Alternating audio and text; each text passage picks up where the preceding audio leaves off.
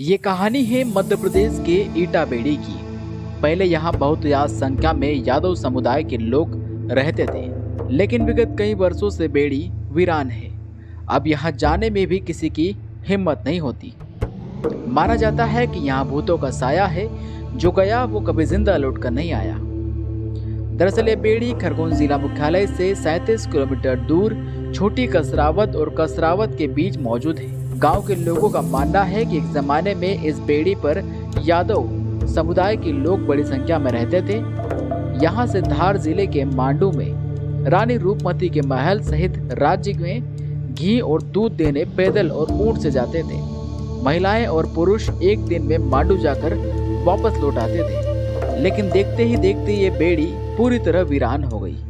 पहले यहाँ बड़ी बड़ी ईंटों से बने मकान थे इन मकानों का मलबा आज भी यहाँ पड़ा हुआ है।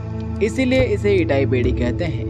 लोगों का मानना है कि यहाँ बहुत सारा धन दबा हुआ है। इसी धन को निकालने के चक्कर में कई लोग यहाँ आए और अपनी जान गंवा बैठे।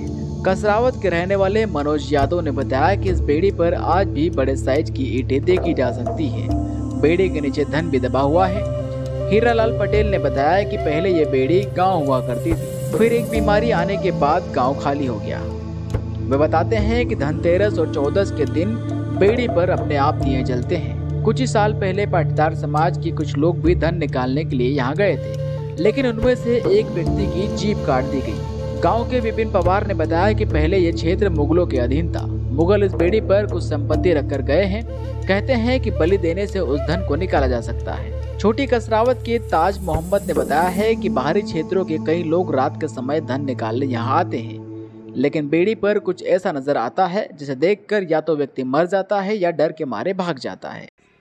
आप जो पीछे लंबी सी जो पर्वत श्रृंखला दिखाई दे रही है, प्रसिद्ध इटाई बेड़ी है।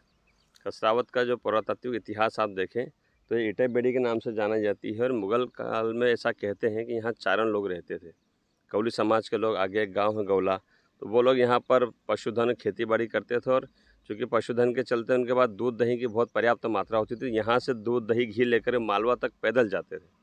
तो मालवा, निमाड़ मालवा तक उन्होंने दूध दही घी की आपूर्ति करी है और ऐसी किवदंती कही जाती है कि इस प्रसिद्ध ईंटें पेड़ी में एक समय सोने की ईंटें मिलती थी, लोगों कुछ लोगों को मिली है और उसके चक्कर में बहुत से लोग गए और आप तो ऐसा बताते हैं कि जो भी ईंटें लेने गया आज तक वापस नहीं आए कई साल बाद काल गिरा, वो बीमारी आने लग गई। फिर वो गाँव खाली हो गया। वहाँ धन की पर्याप्त है आज भी चौकीदार है छोटी कसरावत था। उसको पगार मिलती सरकार तरफ़ से क्या। और धनतेरस पे क्या? धनतेरस चौदस पे वहाँ हमेशा दिए लगते हैं।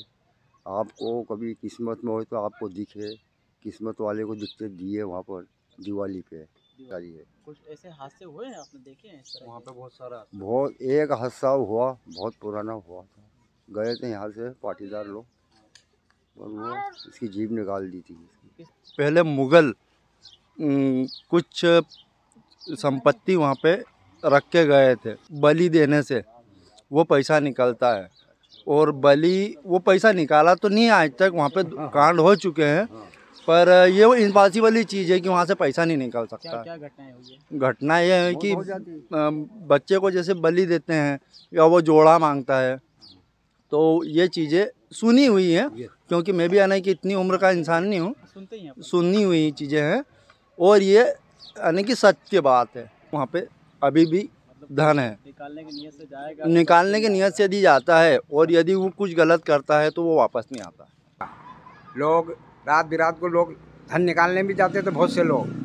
तो बाहर गाँव के आते थे रात में जाते थे। क्या?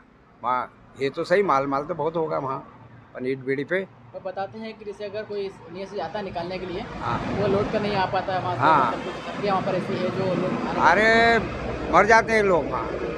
एक चक्कर बताया था कि एक पूरा की मुंडी कटेल पड़ी थी। क्या? रात में गए होंगे कि भलभोग दी होगी? मुंडी कटेल पहले पड़ी थी वहाँ। तो क्या? मानते हैं मतलब जैसे वहाँ पर इस तरह से निकालने दे पाते हैं इस तरह की भाई वहाँ कहीं भी साया होगा। भाई धन निकालने जाते हैं लोग कोई मर जाता है कोई भाग जाता है। आपको बता दें कि पुरातत्व विभाग ने इटाई बेड़ी को राज्य स्मारक घोषित किया है। बेड़ी पर एक बोर्ड भी लगाया गया है। लिखा है, कोई भी व्यक्ति इस बेड़ी को नुकसान पहुंचाता है, नष्ट करता है या किसी प्रकार से खतरे में डालता है। उसे एक साल की सजा और पाँच हज़ार रुपये का जुर्माना देना पड़ेगा। संरक्षित सीमा क्षेत्र से 100 मीटर और इसके आगे 200 मीटर तक किसी प्रकार का खनन और नया निर्माण करने पर भी रोक लगी है। बेड़ी की रखवाली के लिए पुरातत्व विभाग ने छोटी कसराव के व्यक्ति को यहाँ पर चौकीदारी के लिए भी नियुक्त किया है। लोकलैटिन के लिए खरगोन से दीपक पांडे की रिपोर्ट।